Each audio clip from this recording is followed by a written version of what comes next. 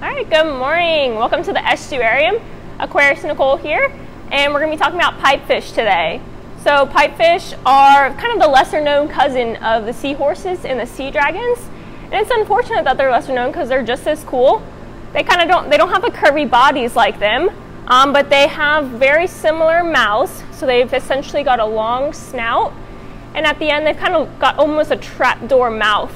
And they use that snout kind of like a straw. They suck their food up really rapidly, and it's called snicking. Um, and that's the same way that seahorses and sea dragons eat as well. So that's kind of what connects these animals together into the same family. Another similarity is going to be um, the bony plating on their bodies. So these guys don't have scales. They're covered in a very hard bony plating. So that makes them very unique as well. Also, like seahorses, they have unique reproduction. So these guys, the males, actually are the ones that hold the eggs and raise them, and then they hatch live from the male's pouches. So all these guys, if you can see the ones with the orange pouches on their bellies, that's actually eggs um, that are developing.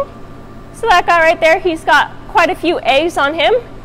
The, the species, it takes about two weeks for them to um, develop, and then uh, the tiny, tiny baby pipefish will hatch out straight out of their bellies. How many babies can they have?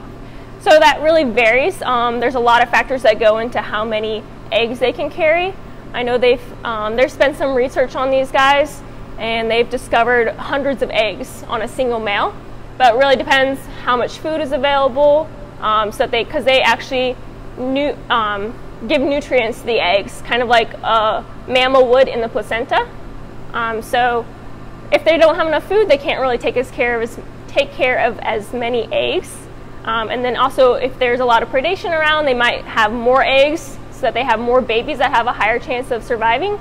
Or if um, they're doing really good in their, in their environment, they might have fewer eggs but bigger eggs. So these guys, um, those babies would be more likely to survive. So it really just depends. Have we had pipefish babies born here before? We have. So when we first actually collected these guys, some of them were already pregnant, um, and they started hatching out a couple days after we collected them. However, the babies are very, very, very small. Um, so it's very hard to raise them. They don't, there's not a lot of food out there that you can feed them, and they kind of disappear. They're very hard to see inside of a tank. We've tried, um, but again, yeah, they're, they're very hard to see and take care of. So looking at them, what's kind of interesting is looking at the number of fins they have. So they actually have one on the very bottom. Yes. Um, so most fish you think they've got a tail fin. So these guys still have a little small tail. Seahorses don't have that. Um, then they've got their dorsal fin on the back. And that's about it. They don't have um, pelvic fins like most fish have. Um, I know some seahorses and some of these species do have pelvic fins. Um, so on seahorses, those come out right around their gills. They're really close to their head. Um, but a lot of the fins they don't have um, that other fish do.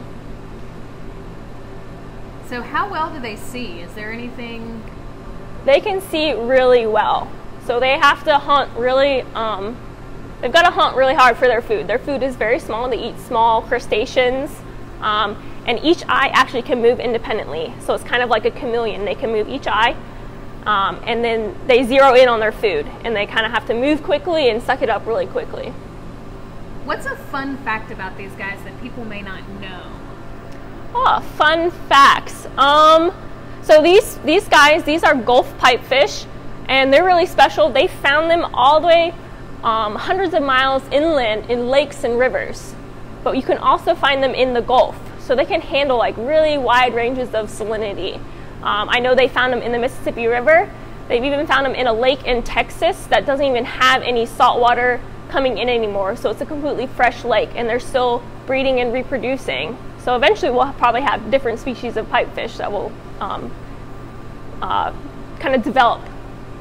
Aubrey, who's 10, asks, how long do they live? These guys don't live very long. Um, on average, this family, seahorses, pipefish, they live about three years. These guys, the Gulf pipefish, there's not a lot of research on how long they live. Most of it says they live about a year, but we've had them six months now and they're doing really well. So my guess is that they might live longer than a year. We'll have to see. And when you talk about these guys, so these guys actually came from the environment around. Yes, we collected these. Um, we actually went into Rabbit Creek, which is off the Dog River um, on the Mobile Bay, and that's where we caught these guys. So, looking at these guys, they they like to hide in grass. Yes, absolutely. So their habitat is going to be depending on the species. These guys around here, obviously, we don't really have a lot of seagrasses, but we have a lot of marsh grasses, um, and there's obviously a lot of vegetation and stuff in the rivers, uh, and they like to kind of hang out in the grasses. So we do have a few that kind of just tuck into the grass and try to blend in and look like a piece of grass themselves. Do they stay in like a family? Um, so they do kind of stay in, uh, I would say it's like kind of a community. Um, it's not like some, um, getting ahead of myself, some species are monogamous and same with seahorses. The male and the female mate and they're kind of like that. They stay that together for life. This species is not like that. Um, females will actually mate with multiple males at a time just to kind of make sure they're getting their genetic material out there. Um, but they stay, they do stay in communities. There's not a lot of travel. So like the ones that are up in the Rabbit Creek aren't really going to travel down to the ones that are out in the Gulf of Mexico and mate. So they just stay in kind of small communities like that. Cohen, who's five, asks, do other uh, animals eat them? So who are their predators? Yeah, so a variety of animals can eat these guys. They've got to be obviously a little bit larger because they are about five inches long. Um, in the rivers, you might get um, things like catfish that might eat them, but they do hide really well. So, like we said, they hide in the vegetation and they blend in really well. They do blend in really well. From a distance, it looks like they're just part of the grass. Mm-hmm. And who is their friend that you have in here with them? Yeah, so we do have a sea pansy in the back there. That is a type of soft coral. Um, it is kind of an interesting animal. It's a community species, so it's a bunch of polyps that live together. The tiny tentacles that you can see coming off the surface, those are their feeder tentacles.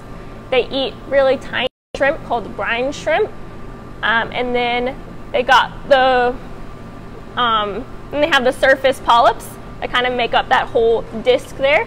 And then underneath it is actually kind of got a stem, which is kind of how they got the name sea pansy. And they take you can't really see it right now, and they kind of bury it into the sand, and that's how they anchor themselves. But they do move around, they shrink when there's not food around, and they grow large when there is food around, and they start feeding. So they're pretty cool too. So, do the pipefish bug the sea pansy at all, or do they habitate pretty well? Nope, they live together pretty well. Some of the pipefish actually like to hang out underneath the sea pansy.